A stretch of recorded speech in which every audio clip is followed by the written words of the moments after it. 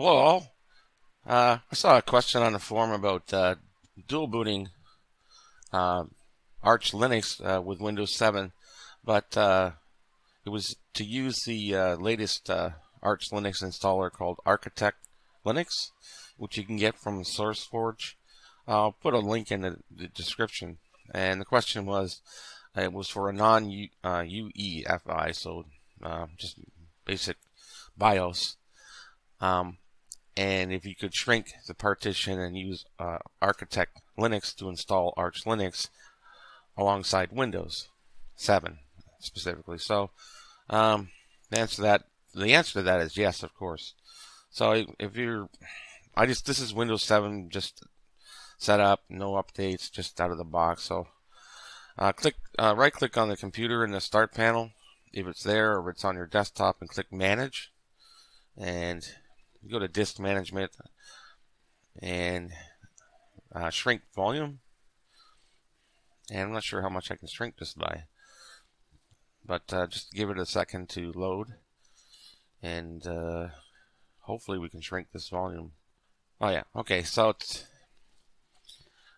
in reality you probably have much more hard drive space, but I'm going to try to give it 10 gigs of free space.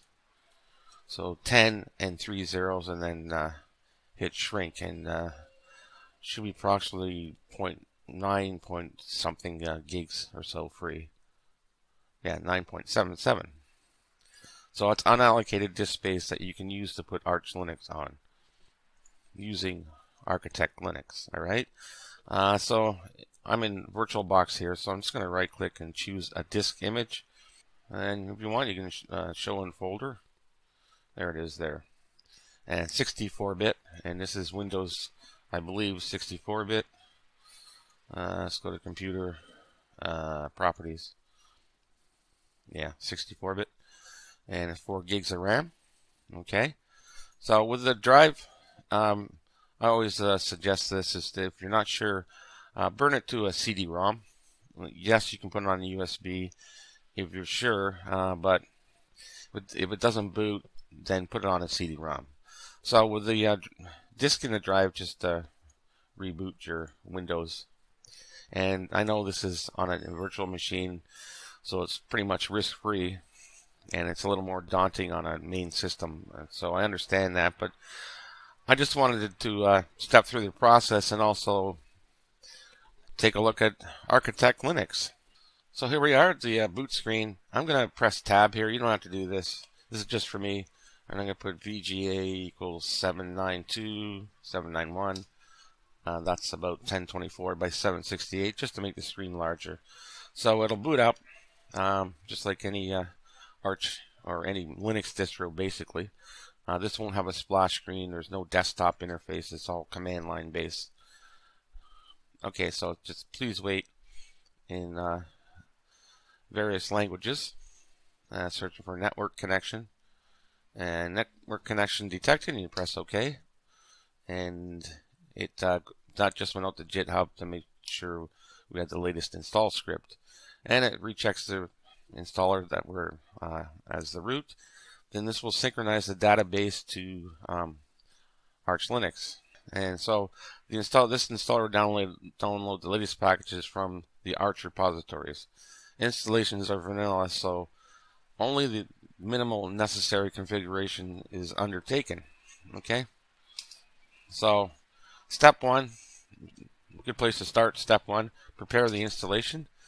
Uh, set the keyboard map, um, whatever. I'm going to uh, type in US and X11 environment, uh, US English. That's pretty cool. New thing. Uh, configure the mirror list by country. I usually do that and it spits out in uh, this is called Nano text editor text editor uh, command line based. If you're not sure uh, or if you want to modify anything you can you know type in but this looks fine to me so just press control X on your keyboard to exit that and use this mirror list for the installer yes. And another option comes up. You can uh, sort mirrors by the fastest as well and that was through I think it said rank mirrors and go back and You can list the devices and you can see SDA1. I'll zoom in here. VirtualBox hard disk SDA1 is NTFS. SDA2 is um, as NTFS as well, and both of those are Windows. So we have we don't see uh, the other partition yet because it's not there's no uh, allocation yet. Um, so we'll prepare the disk, SDA, and we'll use uh, these are all command line based. Okay, I'm not going to use auto partition. I like to use fdisk because um, I have a solid state drive and it aligns the partition table uh, properly for solid state. So a little tricky here if you're not sure, but the basic basic steps for just a basic partition is type N for new. Primary, you should be okay. You can put extended if you wish. So, like if you want extended, you press E. If you want the default, you just press Enter, which is primary. And the third partition, as I mentioned, is empty. So that's the default three. And the first and last sector, I'm not going to set up a swap or a home folder, just straight Arch Linux install. And then uh, just press W to write. Uh, we're going to leave uh, volume local volume management, disk management, management out. So we're going to mount the partition. Uh, pay attention here. You don't want SDA1 or SDA2 because that's where Windows is. We want SDA3. And the file system, instead of NTFS or DA or um, FAT32, we want one of the extension ones are safest bet. Extension 4 is the most popular one, so just press OK for that. And it's done mounting. Now, as I said, I didn't set up a swap file, so there's no space for that. So just leave it at none if you choose to do that and press OK. And we're going to leave out any other additional partitions. So done on that one as well. So back, install base. And I like to refresh the Pacman keys uh, just to be sure, just to be on the safe side. And then now we're going to install the base. Uh, right here, um, there's no harm in getting the uh, base devel or base developer. If you want the long-term support kernel, you can do that as well. But I would get the, the developer packages as well because you'll probably need them down the road. In this case, I'm going to uh, press Option 2 and then OK. Whoa, sorry about that.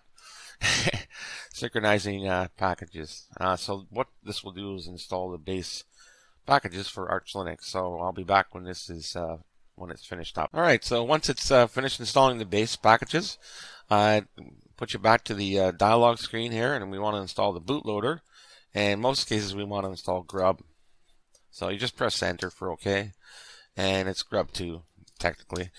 And uh, this will download Grub 2 beta. Don't worry about that. And OS Prober, which will pick up any other file system you have. And it'll ask you where you want this. In this case, we're dual booting on the same hard drive, so SDA is fine. Okay, that's I wouldn't try to choose anything else. So you just hit enter, enter for yes, and it'll install Grub for you. I'm not on wireless, obviously in a virtual box. You can install wireless, uh, display all devices, none were det detected, but uh, you can install all of them, or if you these look familiar to you, you can uh, install one individual. But in this case, I don't need one or in uh, to install. So configure the base is next and generate the file system table. I like to use the uh, device partition code. You can go by label or UUID, unique code, um, but I'm fine with DEV. And set a host name. This can be anything. Uh, VBox, I usually for VirtualBox. Set your time zone. That's pretty uh, self-explanatory. Press enter, confirm that you want that as a time zone. I leave that at UTC. Okay, and set your system locale. Figure the user accounts and set your uh, root passwords. And then we go to install desktops and I'm going to prepare graphics, input, sound devices. So we're going to get the ALSA uh, sound architecture, uh, Xorg, the Windows X Windows, and the input devices. So again, this will just uh, take a, a, bit of time to download and install. Once that's finished, uh, go on to the uh, display driver. Uh, so in this case, it's VirtualBox. If it doesn't pick it up, uh, select No and choose an open source driver. or I mean, sorry, select yes to an, an open source or no uh, for proprietary, such as NVIDIA. All right, then we move on to install desktop environment. Okay, choose from one. So uh, I'm just going to go GNOME for now, and you can see it's a 1.3 gigabytes installed, uh, 270 or so to uh, download. So this will take a bit of time. So I'll be back when this is uh, ready to go. Okay, so moving along, uh, install a network connection manager. Uh, since installing GNOME, yeah, it's already been installed, and I'm sure the login screen GDM is uh, GNOME Display Manager. So we go back, accessibility packages if you want those, and then run your MK init for uh, boot in init RAM FS Linux. You can review the configuration. I'm just going to leave it as it is. Back and done and close installer. Yes. Uh, let's just restart. Okay. And uh, we'll still have the, uh, if you still have the installation CD in or whatever it boots to, just go to uh, boot, the second option here, boot existing OS. Press enter. And it'll give you an option here, Arch Linux advanced options for Arch Linux. I'll zoom in, sorry, and Windows 7. So let's uh, take a look at our Arch Linux installation. Okay, so this is the uh, GNOME login or uh, window manager or desktop manager uh, for your accounts to log in and stuff. So whatever you chose for a username and password, uh, you can just type in your password and you click on your name. Remember, this is VirtualBox, so it might not be as robust as it is in on your system, but this is the GNOME desktop. Activities is where your programs are. And you click this to show all applications. And you see you have a lot of stuff out of the box. Not like an extensive, but it's enough to get you started. Um, there's the uh, up here is your sound, and you click your username, and you can log out. This is power, and this is, goes to system settings, and you can choose your backgrounds. And moving along, uh, this is uh, a default web browser, Epiphany. They just call it web now. All right, so I guess we have to go into a terminal. Remember, this is Arch Vanilla, so you're not going to get too many helpers out of the box. Uh, type in sudo system ctl. Oh, no bash completion, I forgot that. Enable, and then capital network uh, capital N for that, and manager dot service. And you're going to be prompted for a password if you haven't set it up. So just your login password. If I remember it correctly. There we go. All right. So we'll just uh, hit this power button and restart the computer. Okay, so what you have to do, um, once Network Manager is enabled, go to your settings. It could be a VirtualBox thing too. Go to Network. You see that it's on. If you add a profile, and you choose IP uh, v4 and click Add, uh, this will kick in and it'll be on. Okay, so that's an overview of GNOME. If you've never used GNOME desktop before, uh, one more thing is you can uh, say you have Firefox.